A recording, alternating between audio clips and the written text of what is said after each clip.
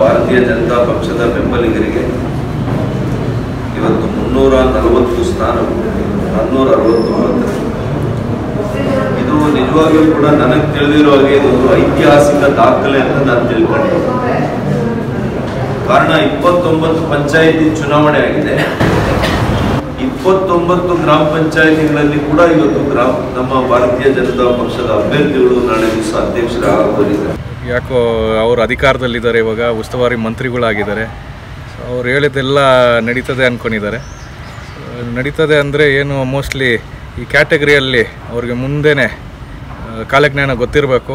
So ಅದರಲ್ಲಿ ಏನೇನೋ ಒಂದು ವ್ಯತ್ಯಾಸ ಮಾಡ್ಬೋದು ಅನಿಸ್ತದೆ. ಸೊ ಆ ರೀತಿ ಅವರು ಇಪ್ಪತ್ತೊಂಬತ್ತು ಗ್ರಾಮ ಪಂಚಾಯಿತಿಯಲ್ಲೂ ನಾವೇ ಕೂತ್ಕೊತೀವಿ ಅಂತ ಹೇಳಿದ್ದಾರೆ. ಆದರೆ ಕೆಲವು ಪಂಚಾಯಿತಿಗಳು ವಿರೋಧ ಪಕ್ಷಗಳು ಅಕೌಂಟೇ ಓಪನ್ ಮಾಡಿಲ್ಲ. ಮತ್ತು ಇದು ನಿಖರವಾಗಿ ಹೇಳುವಂಥ ಮಾಹಿತಿ. ಇವತ್ತು ನಾನೇನು ಹೇಳ್ತಾ ಇದ್ದೀನಿ, ಮುನ್ನೂರ ನಲವತ್ತು.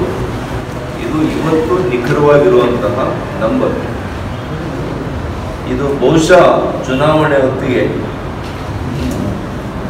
ನನಗೆ ಈಗಾಗಲೇ ಸಂಪರ್ಕ ಮಾಡಿರುವಂಥ ಮಾಹಿತಿ ಪ್ರಕಾರ ಇನ್ನು ಮೂವತ್ತರಿಂದ ನಲವತ್ತು ಸದಸ್ಯರು ನನ್ನ ಸಂಪರ್ಕದಲ್ಲಿ ಅಂದರೆ ಮುನ್ನೂರ ನಲವತ್ತು, ಇನ್ನೊಂದು ನಲವತ್ತಂದ್ರೂ ಕೂಡ ಮುನ್ನೂರ ಎಂಬತ್ತು ಸದಸ್ಯರುಗಳು ಇವತ್ತು ಭಾರತೀಯ ಜನತಾ ಪಕ್ಷದ ದುರ್ಬಳಕೆಯಾಗಿ, ಸರ್ಕಾರದ ದುರ್, ದುರ್ಬಳಕೆಯಾಗಿ ಒಂದು ವ್ಯವಸ್ಥೆ ಕೆಟ್ಟಿದೆ ಅಂತ ಅರ್ಥ ಇದು.